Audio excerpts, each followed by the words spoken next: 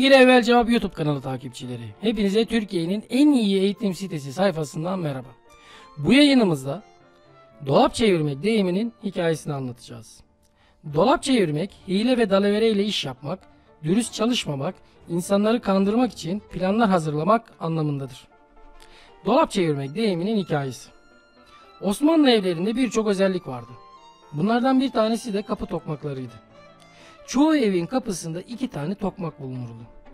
Bu tokmakların biri küçük, diğeri ise daha büyüktü. Ev sahibi kapı sesine göre gelenin erkek mi, kadın mı olduğunu anlardı. Buna benzer birçok ayrıntı, düşünülmüştür. Konumuz kapı tokmakları değil, Osmanlı evlerinin bir özelliği.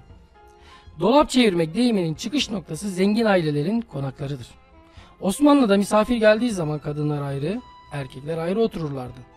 Kadınların olduğu bölüme haremlik, erkeklerin olduğu bölüme, bölüme ise selamlık denilirdi. Misafir geleceği zaman evlerde yemekler, tatlılar, şerbetler yapılırdı. Kadınlar bölümü ile erkeklerin oturduğu bölüm arasında dönerli bir dolap olurdu. Bayanlar tarafından hazırlanan ikramlar tezgaha konulur, dolap 180 derece döndürülürdü.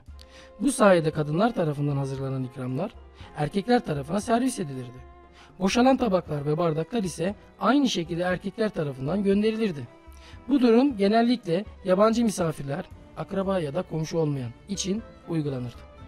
Evet yayınlarımızı takip etmek için kanalımıza abone olmayı lütfen unutmayın.